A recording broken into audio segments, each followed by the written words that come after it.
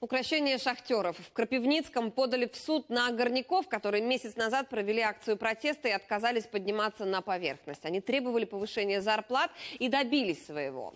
Кто и почему теперь с ними судится, выясняли наши корреспонденты. Шахта Ингульская под Крапивницким. В начале ноября после смены бригада горняков отказалась подниматься на поверхность. Требовали увеличить зарплату. Их поддержали сотни коллег. На 6 тысяч прокормить семью, снять квартиру. Ну все, это же нереально.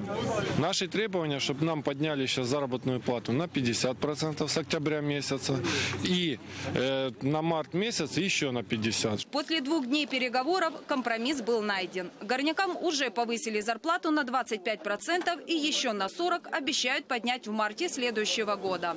Но спустя месяц после акции шахтерам массово начали вручать повестки в суд. Ми отримали ці е, бумаги, так сказати, акти.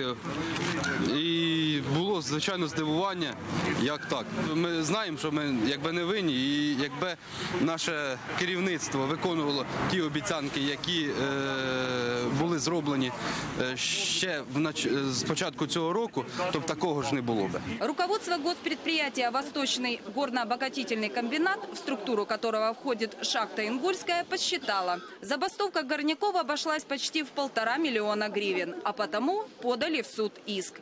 Требуют признать акцию протеста незаконной, рассказывает глава профсоюза. Це була мирна акція протесту. Вони запугати хочуть всіх людей, щоб на подальше право голосу е, обичний е, якби працівник інгульської шахти, особа підземної групи ну, не мав.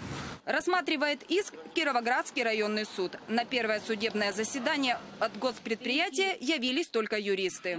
Чому зараз звернулася в суд після вирішення всіх питань? Справа в позові все описано, все розказано. Почему спустя месяц и вопреки подписанным договоренностям руководство подало в суд?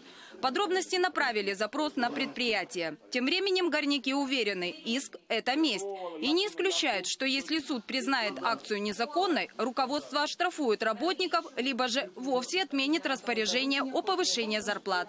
Елена Брынза, Владимир Кувакин. Подробности. Телеканал Интер. Крапивницкий.